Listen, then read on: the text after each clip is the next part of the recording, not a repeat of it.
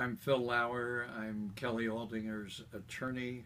We had a preliminary hearing earlier today and we waived it, meaning the case will now go to the county court.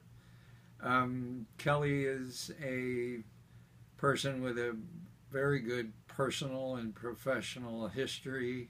Um, this is something that's difficult for everybody involved, and we're just hopeful we can bring it to a satisfactory conclusion.